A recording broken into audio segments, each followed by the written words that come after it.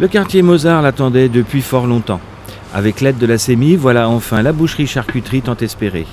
C'est Madame Cabaret, fort de son expérience à la boucherie du village, qui gérera cet établissement. Et Vélizy TV était là le jour de l'ouverture. J'adore euh, le contact avec les gens. Et je ne le fais pas seul, il y a mon mari. Et j'ai une très bonne euh, chef bouchère aussi euh, qui va m'aider pour tenir ici. Et avec l'expérience que j'ai eue avec mon mari au village, ça va m'aider à, à gérer un peu ici. Alors, vous la préférez dans les chines ou plutôt dans les premières?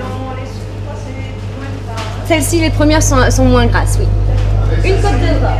Tous les produits sont euh, bleu blanc cœur, c'est-à-dire que c'est élevage à l'ancienne qui sont plus sains pour l'animal, lin, luzerne, enfin tout, tout ce qui est céréales euh, naturelles, à l'ancienne on disait.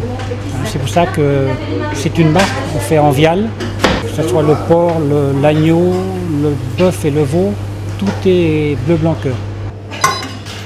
Avec ceci. Ah oui, ça j'y tiens, mes produits maison, tout ce qui est rillettes, puisque je suis de la Sarthe moi-même, et pâté de lapin qui a beaucoup de succès, le pâté de foie de volaille, le pâté de canard, et puis tout ce qui est quiche, euh, gratin, bouche à la reine. Il y a pas mal de produits maison, ça fait déjà beaucoup de travail.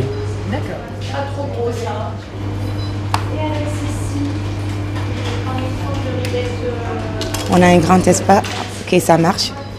Et euh, parce qu'on on nous connaît déjà au village et les gens ils ont fait euh, beaucoup de publicité pour nous. Et euh, aussi euh, avec tout ce qu'on va mettre en place, un, un service, euh, la qualité de choses qu'on va présenter, on a un grand espoir que, que ça marche parce qu'on va faire tout euh, pour faire plaisir à tout le monde.